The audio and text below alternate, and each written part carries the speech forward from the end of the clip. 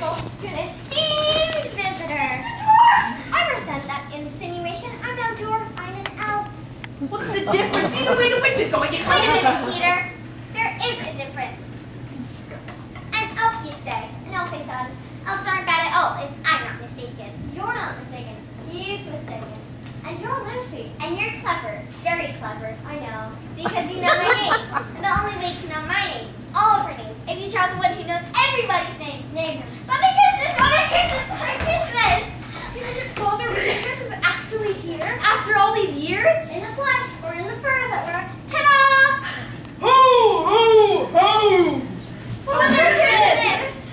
I've come at last. The powers of the witch have kept me away for some time now. But lately, I feel stronger. More like myself. That is why I make my rounds again. They say that Aslan is on the move. Well, that must be the answer. Are you ready for your presents? First, Mr. Beaver, I fixed the dam and mended the leak. Why, I, I, I don't. A simple thank you will suffice. Thank you. And Miss Beaver, in the room next to the smokehouse, I've left for you a brand new sewing machine. Oh my, I, I, I What don't he said. Thank you. Peter, son of Adam, Yes, sir.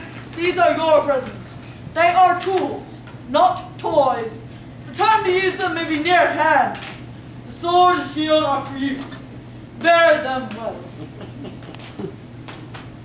And Susan, daughter of Eve, Yes, Father Christmas? These are for you. Use this bow in, in times of great need, and blow this horn when you're ever in need of trouble, and help of some kind will come to you. Thank you, Father Christmas. And Lucy, younger daughter of Eve, in this bottle is a cordial made from the juice of the fire flower. If you or any of your friends are ever hurt, a few drops should restore them fully. And this dagger is to defend yourself. Only use it when absolutely necessary. Thank you, Father Christmas. Well, we must be on our way. We have many more stops tonight.